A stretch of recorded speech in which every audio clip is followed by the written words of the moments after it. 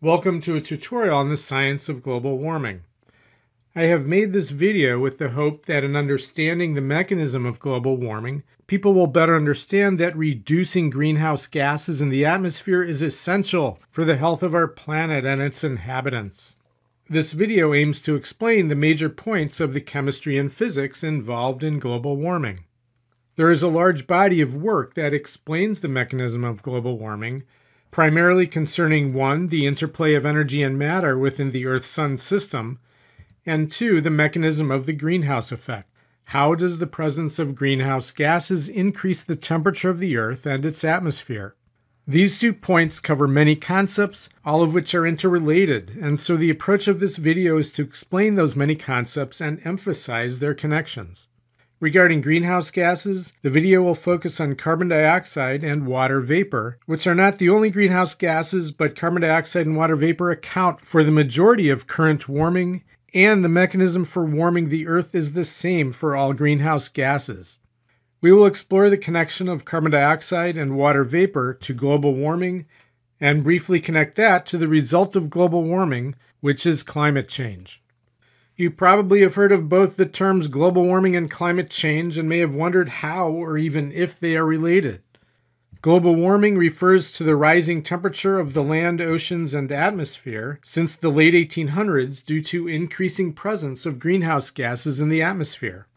Historians mark 1750 as the start of the Industrial Revolution. However, industrialization was not significant enough to affect global temperature until the latter half of the 1800s when the more significant rise of industry began to more significantly increase atmospheric carbon dioxide as a result of burning fossil fuels.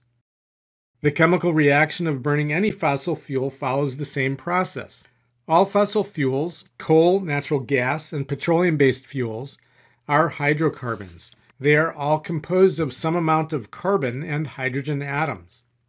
When burning or combining with oxygen, the result is the production of carbon dioxide and water vapor. However, the amount of water vapor produced is negligibly small compared to the amount of water vapor already present in the atmosphere. But fossil fuel burning results in a large increase in carbon dioxide compared to the carbon dioxide already present in the atmosphere, which produces a global rise in temperature. The result of that rising temperature is a change in the Earth's climate. Climate change encompasses all of the physical and meteorological consequences of global warming, such as changes in precipitation patterns, changes in storm patterns, changes in cloud formation, changes in wind patterns, and increasing natural disasters, all of which result from increasing global temperature of the land, oceans, and atmosphere. So the two processes, global warming and climate change, are intimately connected. Okay, now for the next two minutes, I'm going to summarize the entire technical story. I'd like to give you an overview of global warming, and then I will explain each concept more slowly. First, the Earth is warmed by sunlight. Second, the Earth seeks to reach an energy equilibrium, meaning the Earth emits an amount of energy that is equal to the amount of absorbed sunlight. That emitted energy is infrared energy. Third, the key here is that it is the temperature that dictates the amount of infrared energy emitted. And the Earth's surface temperature at which the Earth energy equilibrium can be reached is negative 18 degrees Celsius or 0 Fahrenheit. Fourth, greenhouse gases absorb and emit infrared energy, which prevents the infrared energy emitted at the Earth's surface from being directly lost to space which disrupts that equilibrium. Fifth, due to those greenhouse gases interfering, infrared is lost to space where the air is colder than negative 18 Celsius, and so the Earth heats the atmosphere until that altitude, where infrared is lost to space, warms to negative 18 Celsius. That warming allows the Earth to reach that Earth energy equilibrium. But we live at the Earth's surface, far below that cold negative 18 Celsius altitude. At the Earth's surface, that warming results in an average temperature of about 14 degrees Celsius, 57 degrees Fahrenheit, allowing water to exist as a liquid.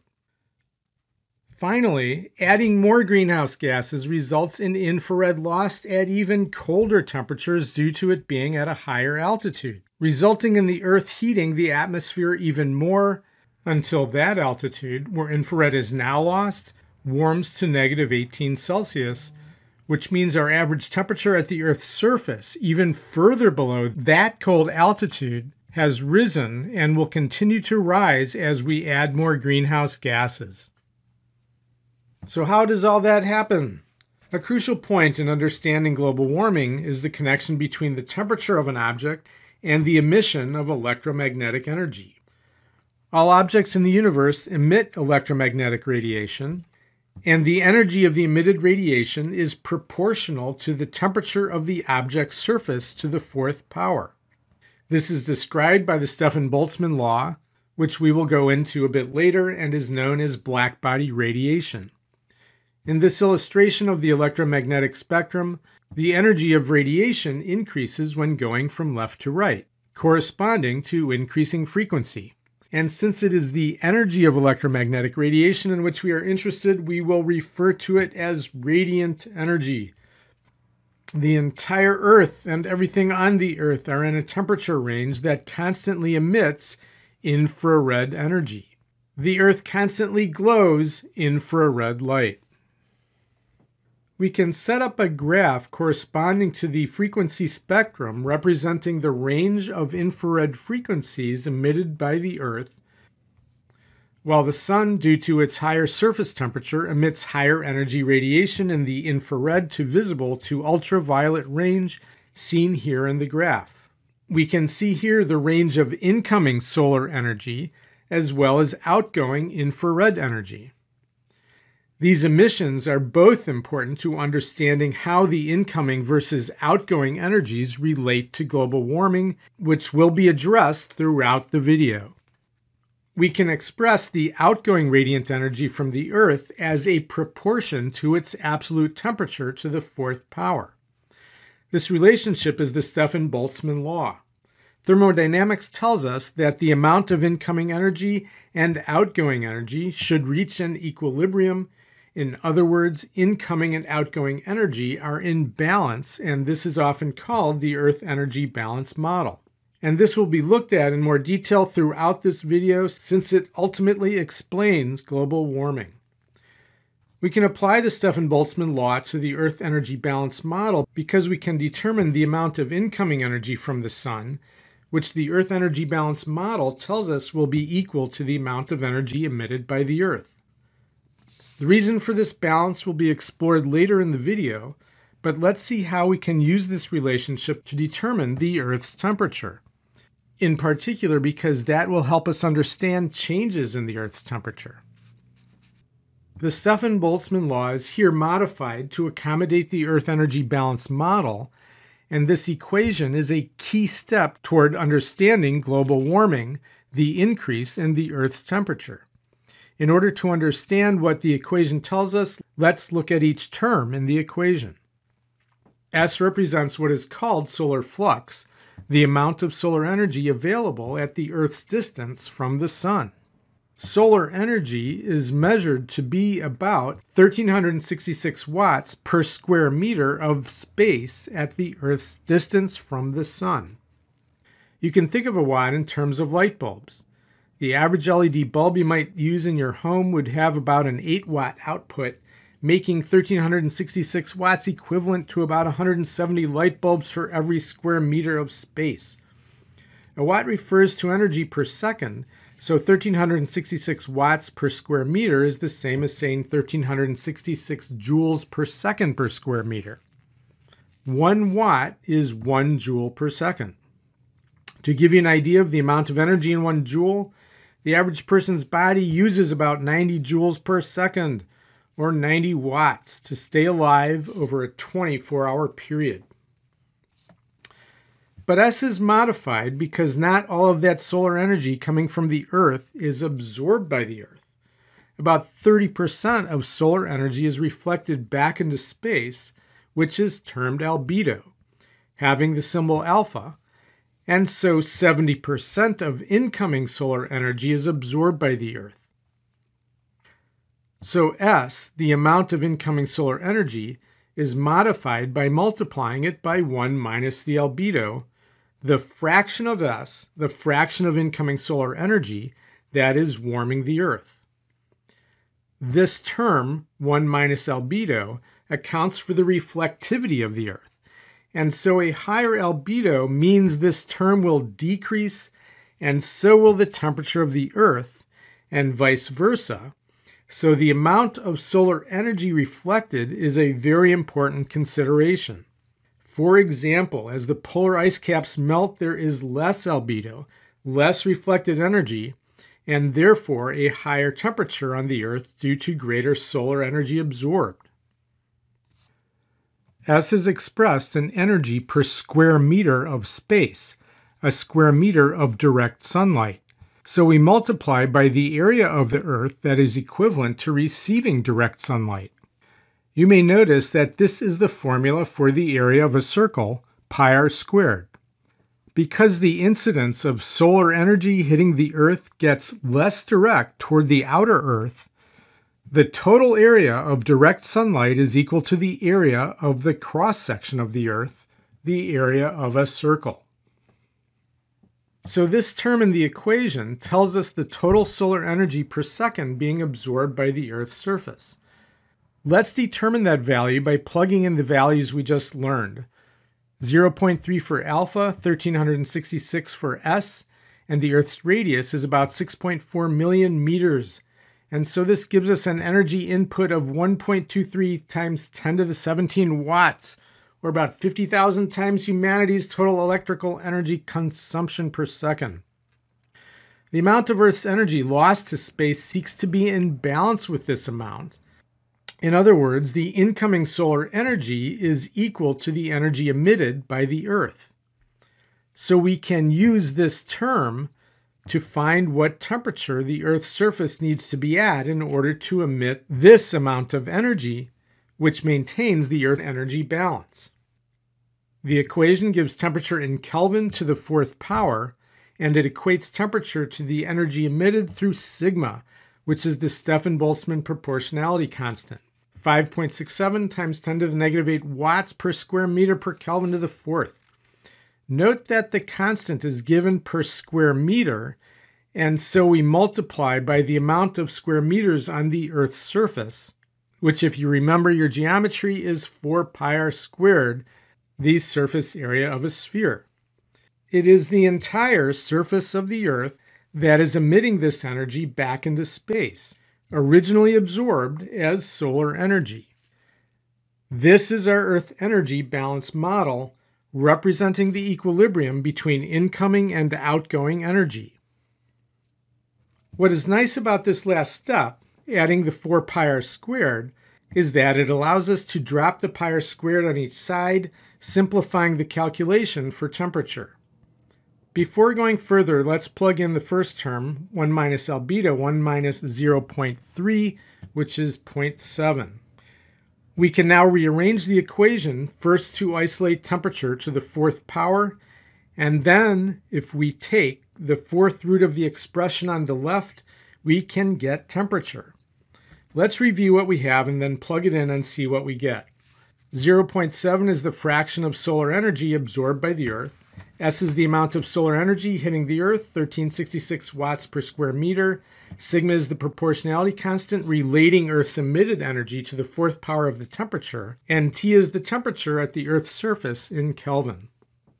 Plugging in S and sigma gives us a temperature of 255 Kelvin or negative 18 degrees Celsius, 0 degrees Fahrenheit. What this is telling us is that 255 Kelvin is the average surface temperature at which the Earth's outgoing infrared energy is equal to the absorbed solar energy.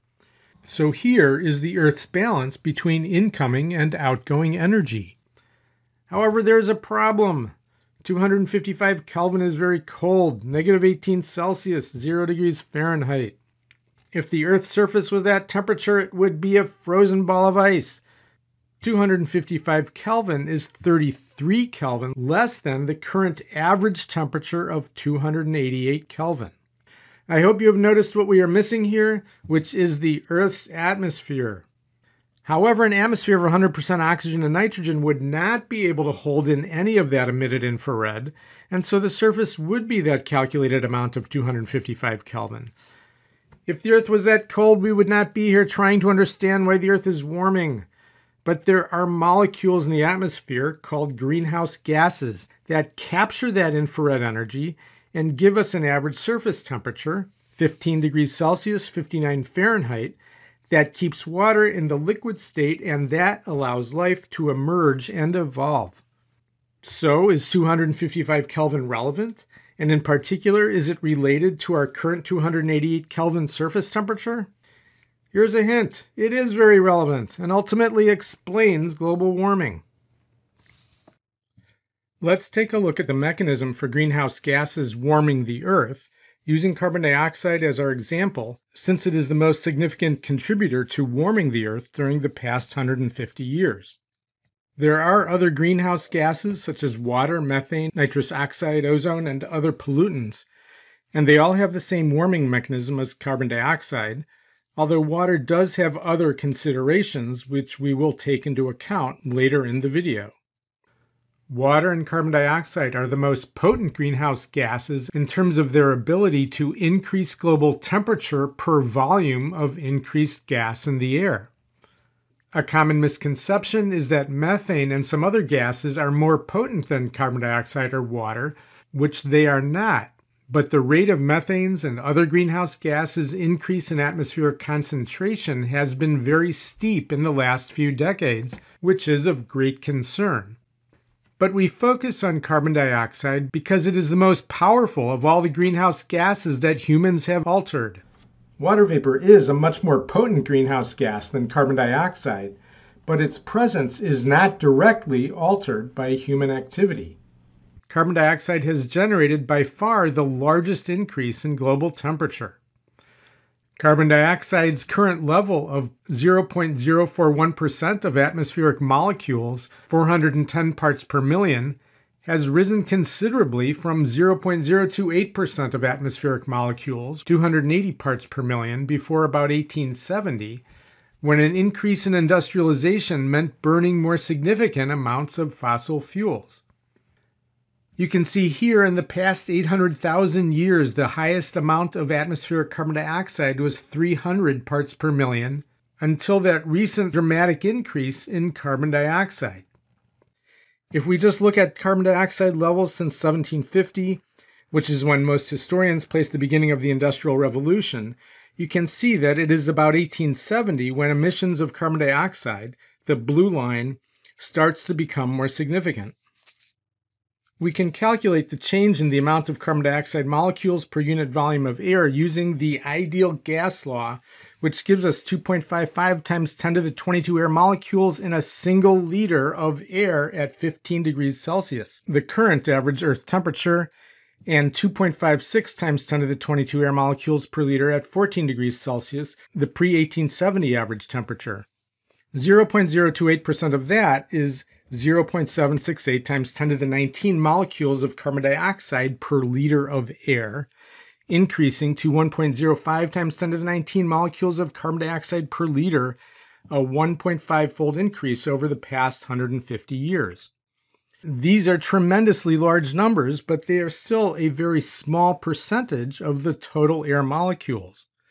Why does such a small percent of carbon dioxide have such a large effect on temperature? The answer to that must include looking into the importance of water vapor as a greenhouse gas, which we will do a little bit later in the video. First, it will be very helpful to get an idea of what heat is and how it is related to temperature. There are three categories of heat, all of which are important to global warming. The first type of heat is conduction. When two particles collide, energy is transferred from the fast moving particle to the slow moving particle. Since we measure temperature as the average kinetic energy, the transfer of kinetic energy is a change in temperature. This gives us the basis for heat, a flow of kinetic energy from hot to cold. How does this happen? Let's look at the result of two blocks in contact that are initially at different temperatures. Heat is transferred from the warmer to the cooler block. Let's look at what is occurring between the two blocks.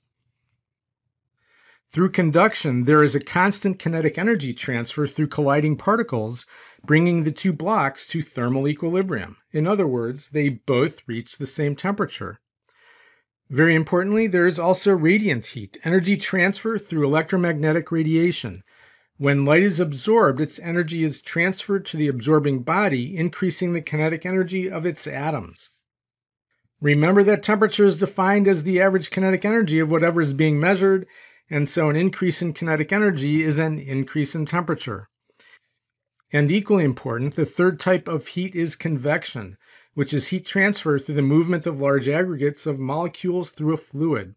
For example, a large aggregate of air molecules heated through conduction by a warmer Earth will expand and transfer that increase in kinetic energy due to buoyancy, while air with a lower kinetic energy, in other words, a lower temperature, will move to take its place.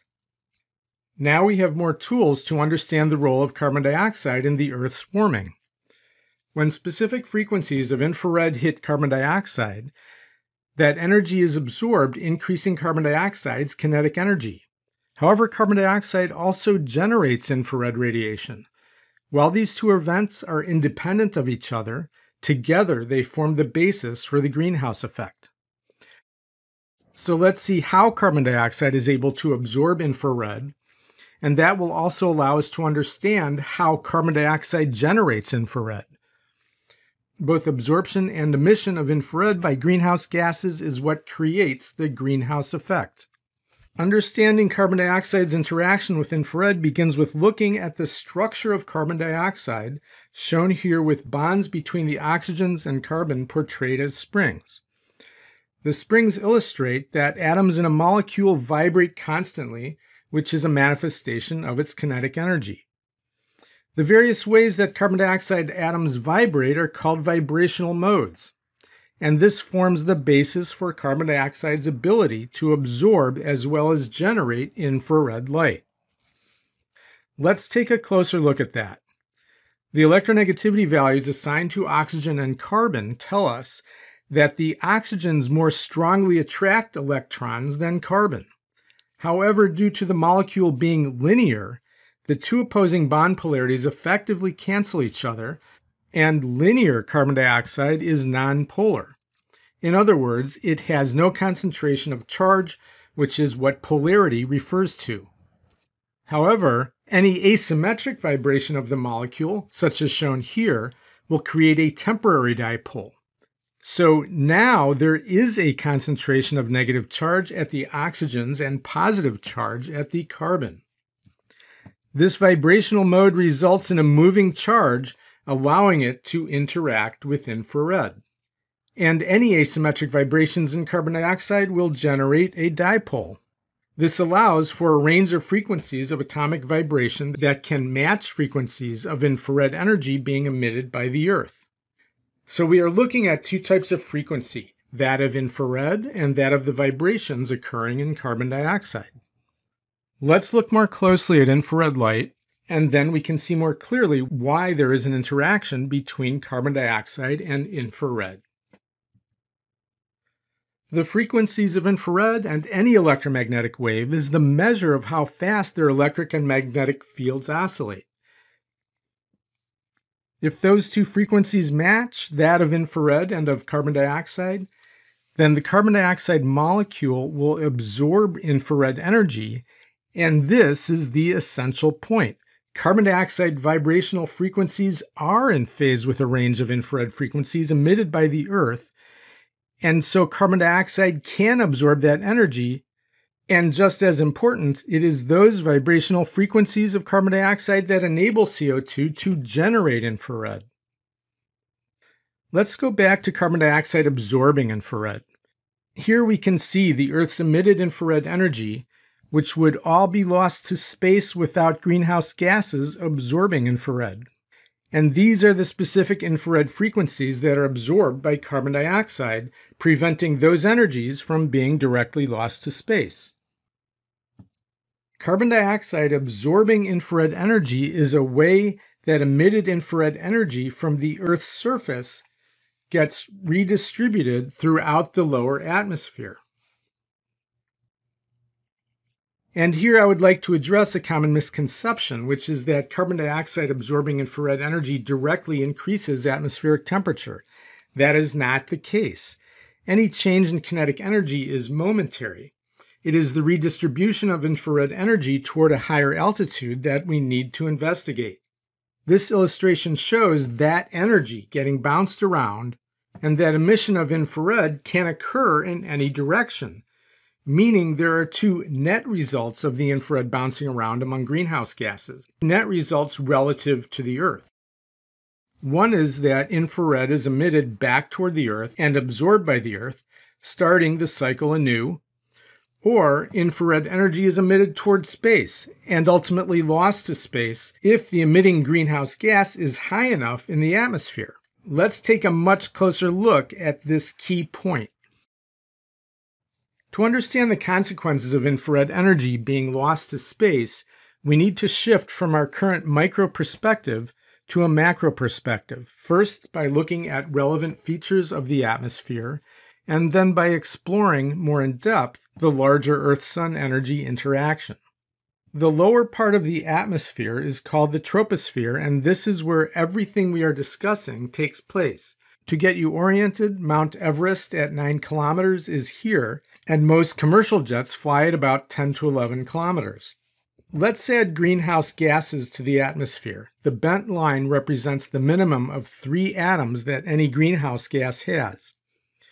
The distribution of greenhouse gases is the same as oxygen and nitrogen and any other atmospheric gas, which is that it is denser at the Earth's surface and gradually expands as height increases. There is much more variability with water vapor, and we will get to that a bit later.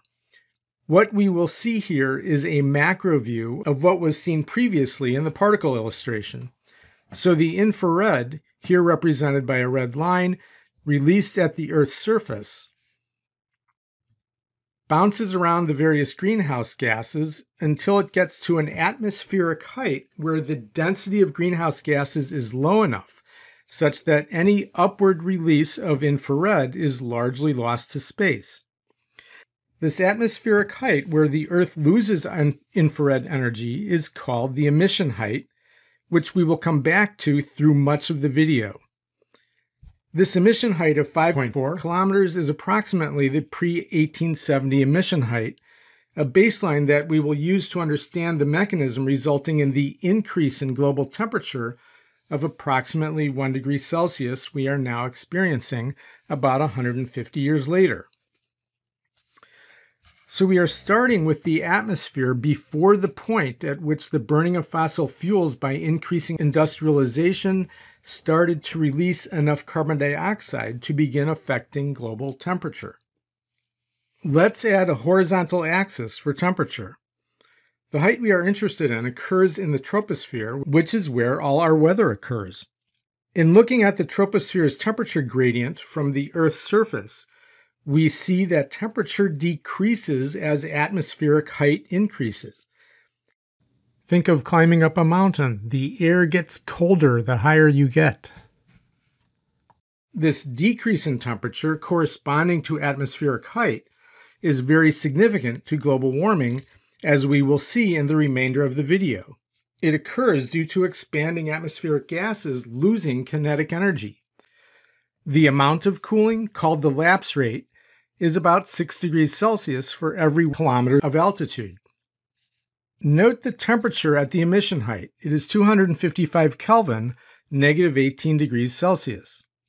If you remember earlier in the video, we calculated 255 Kelvin as the surface temperature that would emit an amount of outgoing energy that would equal the sun's incoming absorbed energy. However, that is the surface of an Earth without an atmosphere. But we not only have an atmosphere, we have one with gases that absorb and release that outgoing infrared energy.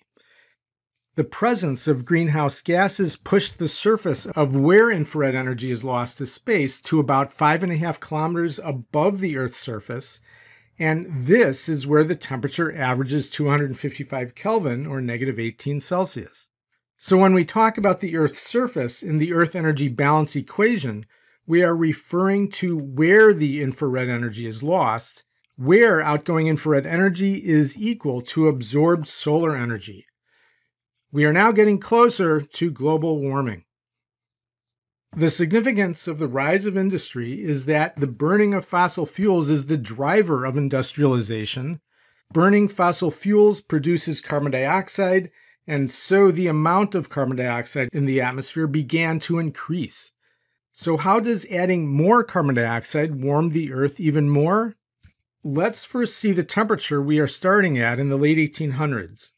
At that time, the average global temperature was about 287 Kelvin, or 14 degrees Celsius, and that matches the known average change in temperature of 6 degrees Celsius per kilometer of altitude, the lapse rate referred to earlier, as we come back to the Earth from the 5.4 kilometer emission height. Let's see how added carbon dioxide changes the conditions that give us the emission height. This represents anything that is burning fossil fuels, putting more carbon dioxide into the atmosphere. Added carbon dioxide disperses throughout the atmosphere, and if we look at just the vertical distribution of added carbon dioxide, we see that the spreading of more carbon dioxide includes more carbon dioxide at high altitudes. The result is an increase in emission height. The infrared has to get to a higher altitude before it is lost to space. Let's head back the temperature axis, showing the 255 Kelvin at the initial emission height. The point here is to understand that as emission height increases due to added carbon dioxide, which happens gradually over time, that makes the temperature at which infrared energy is lost to space lower than it was before, less than 255 Kelvin due to that lapse rate. So increasing emission height due to added carbon dioxide means less infrared energy will be lost to space. Why is that the case? Why would a lower temperature emission height decrease the amount of lost radiant energy? Going back to the Earth energy balance equation tells us that emitted radiant energy is proportional to temperature. At 255 Kelvin, the amount of outgoing infrared energy is equal to the amount of incoming solar energy absorbed. However, if the emission temperature is lowered, less energy is lost from the Earth, and the amount of outgoing energy is now less than the amount of incoming energy. This is why global warming occurs. There is no longer a balance between incoming and outgoing energy. We are changing outgoing energy. Added carbon dioxide raises the emission height, which decreases the temperature at which emission occurs. There is a decrease in outgoing energy with more energy coming in than going out, more solar energy stays within the Earth atmosphere system, and the Earth warms up through that excess energy shown by the double arrow. And this is called radiative forcing, an important term to remember. Radiative forcing is the imbalance between outgoing and incoming energy here representing the solar energy the Earth needs to retain in order to re-establish the Earth energy balance. But the Earth warms only to the point where that emission height gets warmed back to 255 Kelvin, restoring that energy equilibrium, the Earth energy balance. If you think about it, the Earth would have to stop warming at that point because if it kept warming past that equilibrium, then the Earth's energy output would be greater than its input, meaning it would immediately cool down from excess lost energy. So the equilibrium is maintained, the Earth seeks a temperature where its energy output balances solar input. The amount of radiative forcing that has occurred from increased carbon dioxide levels since the late 1800s, greater than 1.8 watts per square meter, results in an increased emission height of close to 100 meters. So the Earth retains that energy difference, the radiative forcing, and warms the Earth until that lower temperature of the higher emission height is back to 255 Kelvin. And that means an increase in temperature at the Earth's surface. Using the 6 Kelvin per kilometer lapse rate, a 0.6 Kelvin warming at the surface would occur, bringing the surface temperature to 287.6 Kelvin. However, we know that the Earth's surface has warmed more than that, about 1 Kelvin, 1 degree Celsius. The current global average is 288 Kelvin, not 287.6 Kelvin. How can we account for this gap? Remember, we have only accounted for warming due to increased carbon dioxide. To account for that temperature gap, we need to address the effect of water vapor as a greenhouse gas. Our story would be woefully incomplete without discussing water vapor. As a molecule, water's mechanism for warming the Earth is the same as carbon dioxide, but there are important differences. Unlike carbon dioxide, water has a permanently bent shape, which means it has a permanent dipole rather than those momentary dipoles produced through carbon dioxide's vibrational motion. It is also a strong dipole, having a large distribution of charge. The presence of concentrated charge within a molecule allows it to absorb and emit infrared. So, having a large permanent dipole, a permanent concentration of charge, makes water much more efficient than carbon dioxide at absorbing infrared energy. A comparison of the infrared absorption spectrum of carbon dioxide and water vapor shows that water vapor absorbs a much wider range of infrared than carbon dioxide. However, while there is no limit to how much carbon dioxide can mix with atmospheric gases, water vapor concentration is between 0% and 4% of atmospheric gases, depending on air temperature and other conditions. Water vapor above its maximum will condense and no longer be a gas. A warmer atmosphere can hold more water vapor, which in turn warms the atmosphere even more and so a positive feedback exists between water vapor and atmospheric temperature, as well as between water vapor and carbon dioxide. Let's see how that works. Starting from a baseline of pre 1870 temperature and water vapor, nothing would happen here. Those two arrows would remain constant without an initial increase in temperature. Where did that initial temperature increase come from?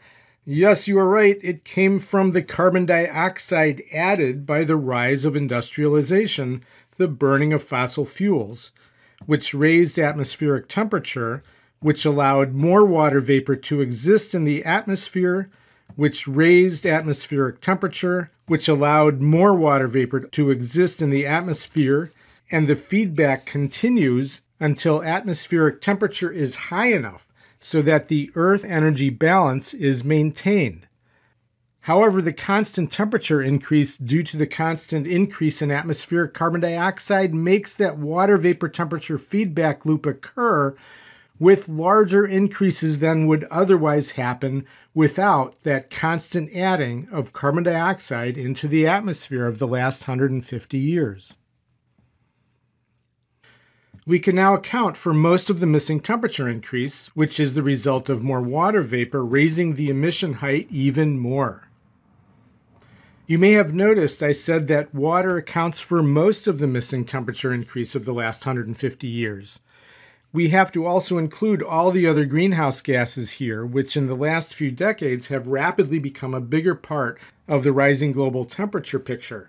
The oil and gas industry emits a substantial amount of methane via leaks from shoddy processing and transport infrastructure, as well as from fracking. More cattle produces more methane, and our high tech way of life produces more of the many other greenhouse gases. We are increasing methane and those other greenhouse gases even more dramatically than we are increasing carbon dioxide. But luckily for us, they are less potent than carbon dioxide. So overall, they matter somewhat less than carbon dioxide, but are still very much of a problem. So far, we have created a picture in which increased presence of greenhouse gases continually reduce outgoing energy, producing constant increments of radiative forcing that is then compensated by rising global temperature. Up to this point, we have talked about the loss of absorbed solar energy through the emission of infrared energy. So, what specifically explains the increase in global temperature, which is an increase in global kinetic energy? Well, as you may have guessed, it all comes from the sun. Not all of the absorbed solar energy is lost as infrared. A significant amount of that energy is either kept by land and sea as higher temperature. However, if any colder air molecules collide with that warmer surface, then kinetic energy is transferred and air molecules close to the surface increase in temperature, and this is heat transfer via conduction. And now convection comes into play here. As conduction warms air molecules at the surface, that warmer air expands and becomes less dense, which then makes it buoyant, and so it rises and warms the upper troposphere, while cooler air moves to take its place. This is heat convection, the constant movement of large aggregates of air molecules, moving energy around the atmosphere far beyond what could occur through air air molecular collisions alone. So, a higher kinetic energy at the Earth's surface from absorbed solar energy results in one, higher Earth surface temperature, both land and sea, and two, kinetic energy transferred to air molecules along with convection results in higher air temperature. The higher global temperature needed to maintain this Earth energy balance originates with the sun's radiant energy absorbed by the Earth. The amount of infrared lost by the Earth dictates the amount of solar energy retained by the Earth to maintain that balance, the Earth energy equilibrium. We are now in a position to answer this very important question how can such a proportionately small amount of carbon dioxide have such a large impact? One, a single carbon dioxide molecule absorbs infrared, releases infrared, or transfers kinetic energy about 1 million times per second. So, carbon dioxide molecules are always available to absorb outgoing infrared from the Earth's sur- surface as well as release infrared at the emission height in extremely small time frames, making small amounts of carbon dioxide have a very large impact. And therefore, small changes in the amount of carbon dioxide, as well as other greenhouse gases, have a large impact.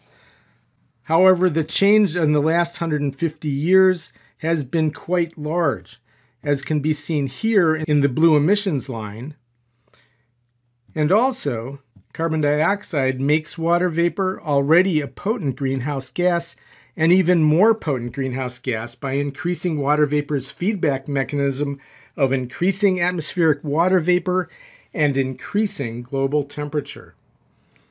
So, small increases in carbon dioxide have large consequences for global warming, as do all other greenhouse gases.